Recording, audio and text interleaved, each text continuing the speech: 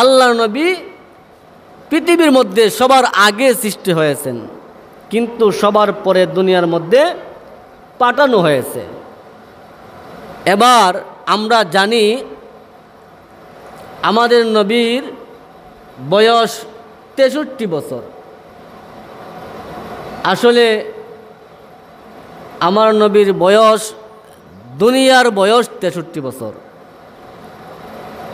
মূলত আমার নবীর দুনিয়ার জিন্দিগির বয়স ছিল তেষট্টি, কিন্তু মেন যে বয়স, মূল যে বয়স, ওই বয়সটা তেষট্টি নয়।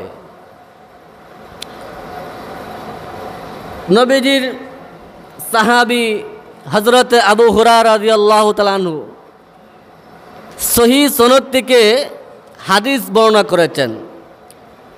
সাহাবাই ক্রামদের মধ্যে সবচেয়ে বেশি হাদিস বর্ণনা যিনি করেছেন, তিনি হচ্ছেন হজরত আবু হুরা রাজি আল্লাহ তালানহু উনি হাদিসের মধ্যে বলেছেন, একদিন হজরত জিব্রাইল আলিহিসালাম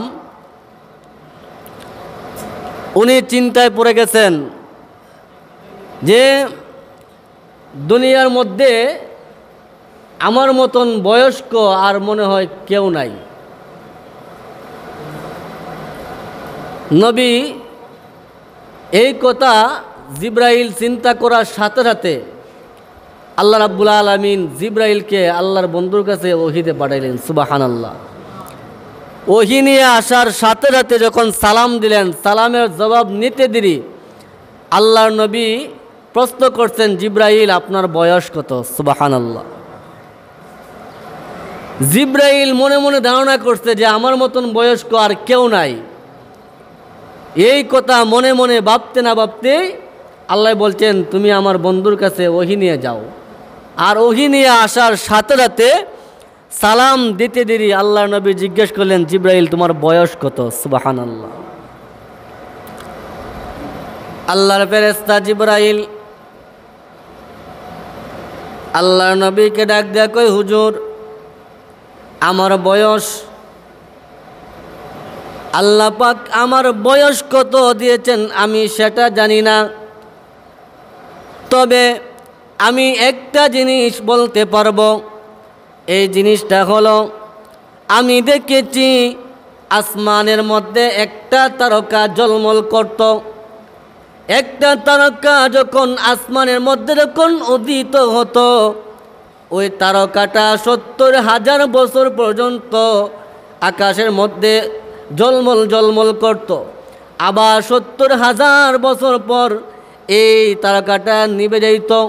আবার সত্তর হাজার বছর পর উদিত হইত। সত্তর হাজার বছর পর উদিত হওয়ার পর আবার ওই তারকাটা আসমানের মধ্যে জলমল করত। জিবাইল বলতেছে, ইয়া রাসূল আল্লাহ হাবিব আল্লাহ আমি দেখেছি ওই তারকাটা আমার জীবনে আমি বাহাত্তর হাজার বার দেখেছি।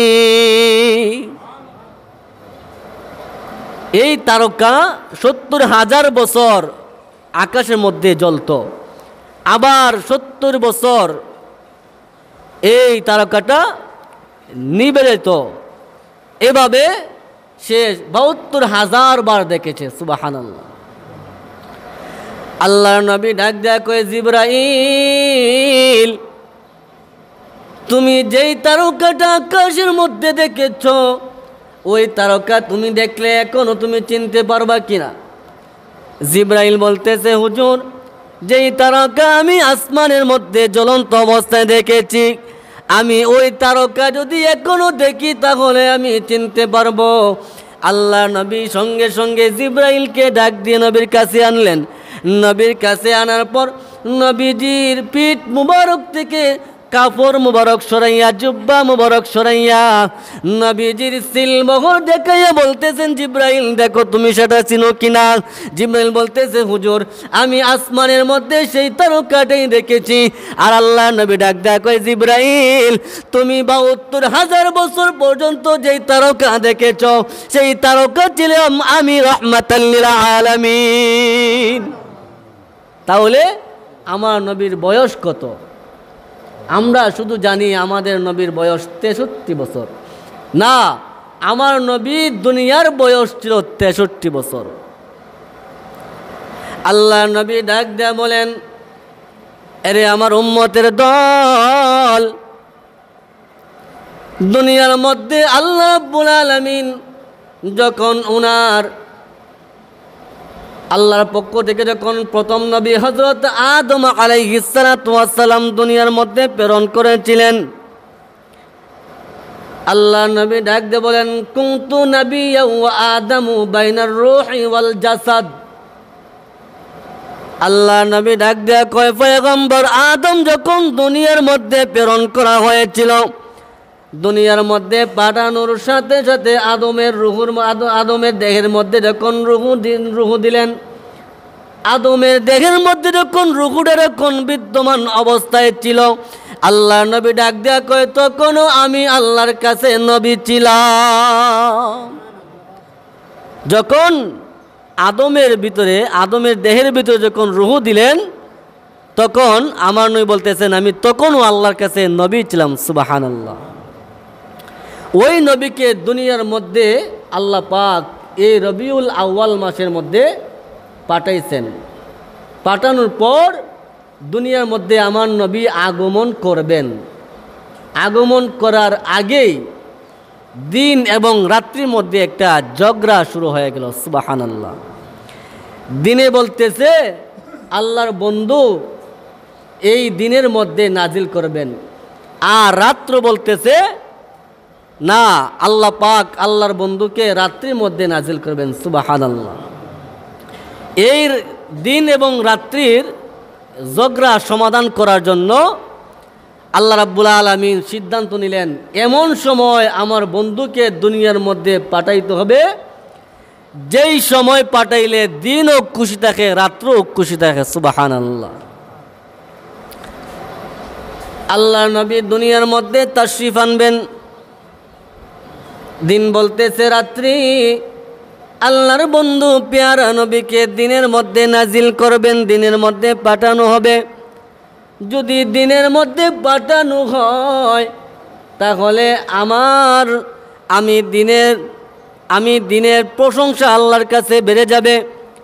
রাত্রি দিয়ে বলতেছে রে দিন, আল্লাহ আমার মধ্যে রাত্রিবেলায় আমার আল্লাহর বন্ধুকে নাজিল করবেন। দিনের মধ্যে পাঠাইবেন না।